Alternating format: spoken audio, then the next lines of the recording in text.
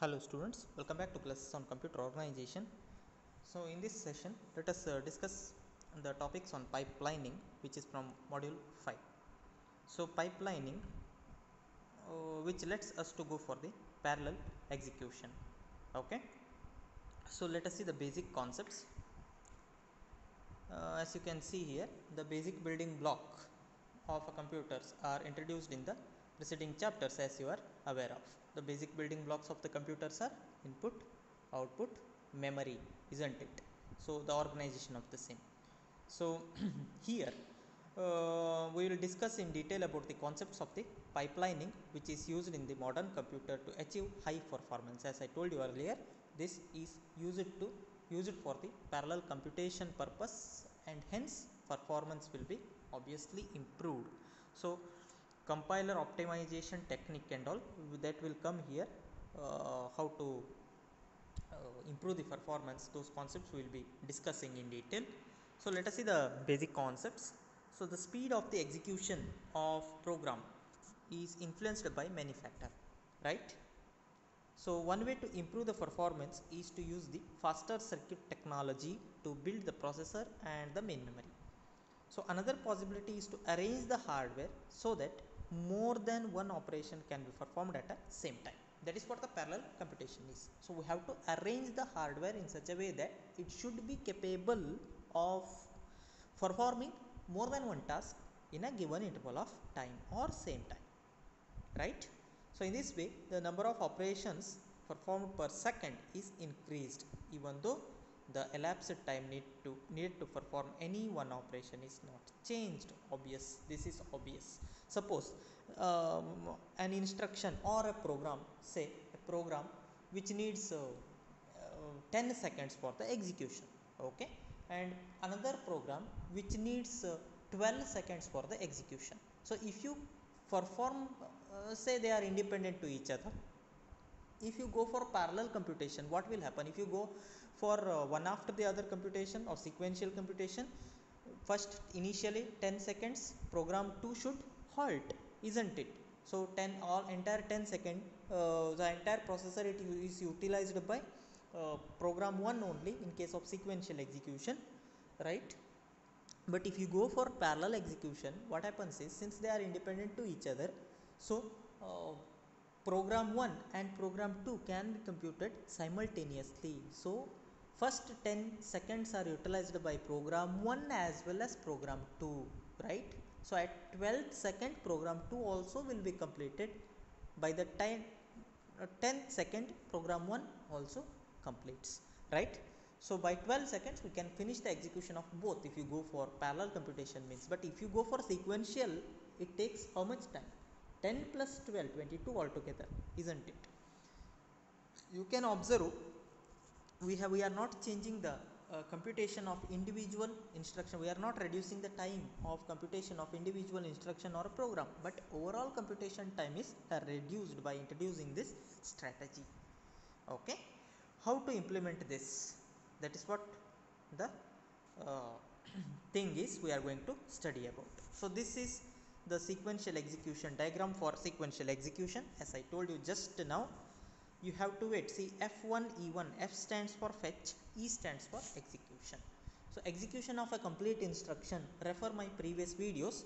So execution of complete instruction which involves this you have studied even for the internals as well right?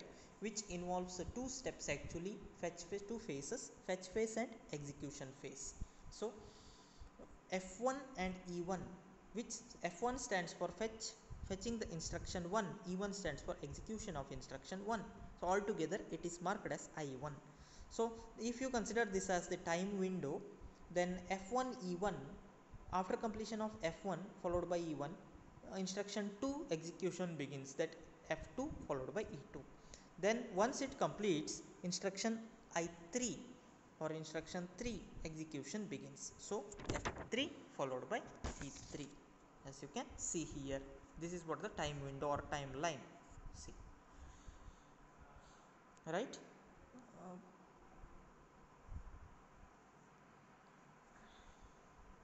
so this is the hardware organization. Okay. And instruction fetch unit and execution unit.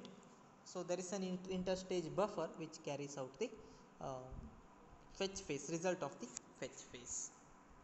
Now pipelined execution diagram 3 okay which tells you about the pipelined execution. So what is that pipelined execution? So overall time at clock cycle number 4 the entire three instruction executions are completed here as per this diagram. As per the first diagram see clock cycle 1 2 3 4 5 how many blocks you count? 1 2 3 4 5 6 clock cycles are assume each block that is each it can be either fetch phase or execution phase. Each phase of the instruction needs one clock cycle for the execution. That is what the simple assumption we are making. So how many blocks are there you count? You will come to know what is the clock cycle required. There are six blocks so six clock cycles are required for the execution here at diagram 1 for sequential execution.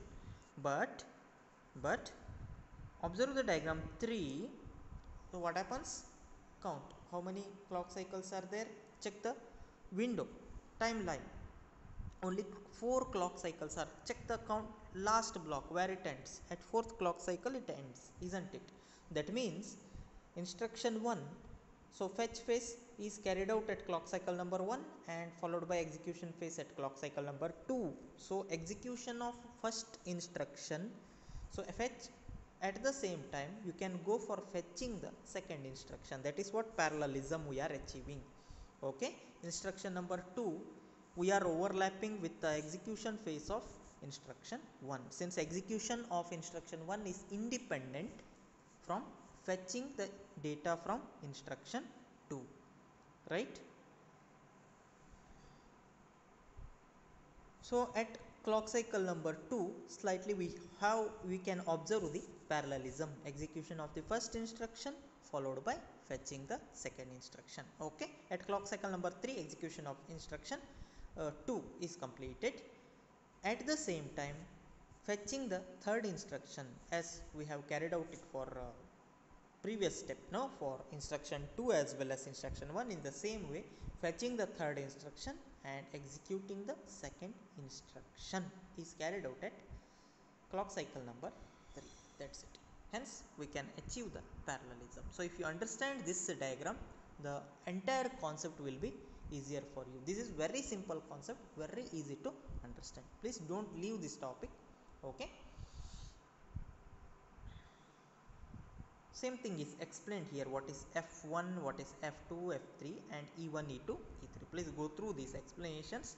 Okay i have already shared uh, the material pdf material in the group.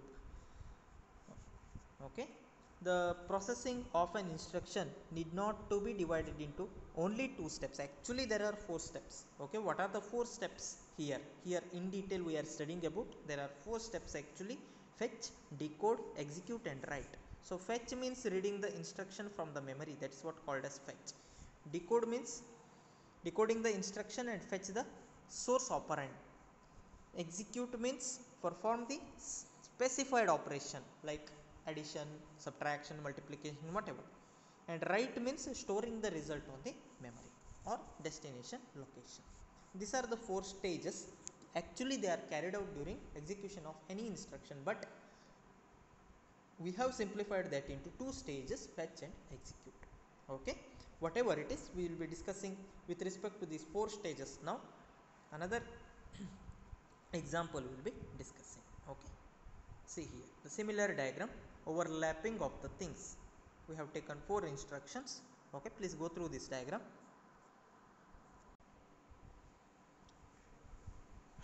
So here uh, first instruction which has got four stages now. Fetch decode execute and write right? F1 d1 e1 and w1 again it is assumed that each and every stage is completed in one clock cycle. So f1 d1 e1 and w1 they are completed in first four clock cycles. Then overlapping of the things. Since fetching the second instruction we can do parallelly along with the decoding of the first instruction so decoding of second instruction can be done parallelly with execution of first instruction Similarly, execution of second instruction can be done parallelly with writing of the first instruction. They are each buffers are different, right? Followed by W2 that is writing the second instruction. Similarly, for F3, so fetching the third instruction can be done parallelly along with the decoding of second instruction and execution of first instruction. So there are four interstage buffers required. One is to store the fetch result, another one to store the decode, another one to store the execution, another one to store the write buffer uh, content. Okay, uh, please remember any any two identical types cannot be done parallelly so we can go for a different kind of strategies parallelly but we cannot perform the identical things parallelly. So if you observe this carefully you will come to know. See here we have d1 and f2 we are carrying out parallelly but we are not carrying out f1 and f2 parallelly. Getting no? And observe this thing. Say what we are carrying out parallelly? Execution decoding and fetching we are carrying out parallelly. But we are not carrying out identical task like execution of first and second. No it is not possible. Since there are there is only one buffer right? So parallelly we can carry out the task but the task should be different. They should not be identical. This thing should be there in your mind. If you understand this then entire concept will be easier for you. Okay? Observe this phase things are overlapped right? So writing the first instruction followed by executing the second decoding the third one and fetching the fourth one. Since they are independent they are not identical to each other so we can carry out them parallelly right? Similarly w2 e3 and d4 w3 and e4 and w4 getting no so this is the just now I told about the interstage buffer. See there are three interstage buffers available. B1 b2 b3 so b1 stores the result of the fetch result of decode result of execution at b3 okay? So we cannot uh, carry out the identical things parallelly. If they are independent to each other then we can go for it. And we can we can do the uh, parallel computation. We can have the parallel computation. This is what the four stage pipeline is. Very very important topic from this module from fifth module. Please don't leave this topic. Very simple topic. Okay? If you uh, understand these two diagrams this one and the previous one along with this buffer state that's it. That is enough. That is enough to, to score minimum 10 marks. Okay